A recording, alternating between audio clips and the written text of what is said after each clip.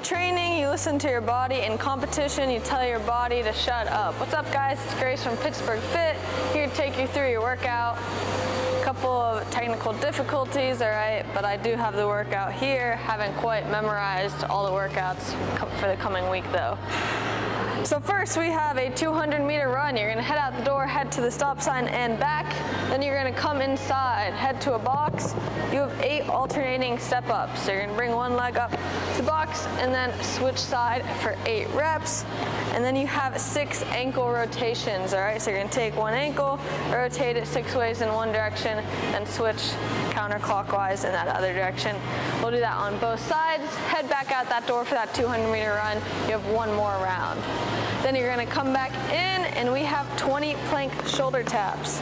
Right, from a plank position, you're gonna tap your hand to your opposite shoulder and then switch for 20 reps. After that, we're gonna go into 10 Spider-Man lunges, all right? So same leg up to that same hand, reach up to the ceiling, get that good stretch and switch. And then our last movement is tuck ups from the floor. I'm gonna bring my knees into my chest, one fluid motion, we have 10 reps there as well, and that will finish our warm up for us.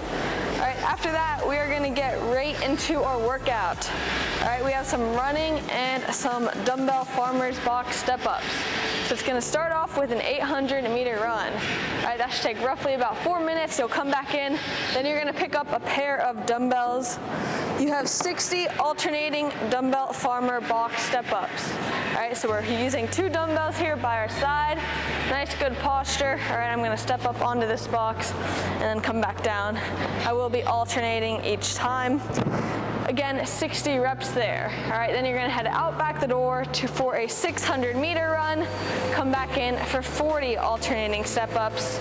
Then you have 20 box jumps. All right, so you're gonna take these dumbbells off the side, jump up onto this box, land and come back down, and then finally a 200 meter run.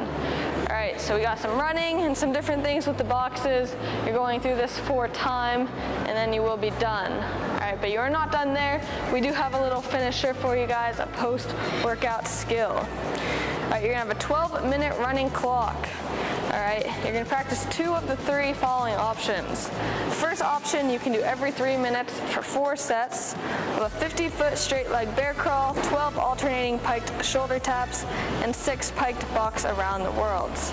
All right, so that straight leg bear crawl, exactly what it sounds like. You're gonna keep straight legs here, all right, and you're gonna walk forward on your hands, walking for 50 feet all right? Then those piked shoulder taps, you'll be in a similar to a downward dog position, hips up high in the air. All right, I'm gonna tap that opposite shoulder and come back down. And finally, around the world would be on that box. All right, your feet are gonna be up. You're gonna walk over to one side on your hands. All right, walk as far as you can, and then walk over on that other side. Again, that's every three minutes for four sets. That's one option. Another option would be a dumbbell stability complex. All right, so one minute, you can do a single arm dumbbell overhead hold. All right, you can do two dumbbells overhead. All right, we're just looking for one minute of stability work with those dumbbells. And then we have a one minute hollow hold, all right? It can be done on a wall, can be done on a box, can be on the floor, all right? We're just looking for that nice hollow body position. Or our third option, you can practice some freestanding handstands. All right, so come down onto the floor, and try to hold that handstand. All right, um, no matter what option you're doing, we're just trying to get some gymnastic skill work in at the end of this workout, all right? Feel free to do whichever one suits you best. Again, this is just kind of practicing that skill. Let us know how you like, the uh, like this workout in the comments below and have a great rest of your day.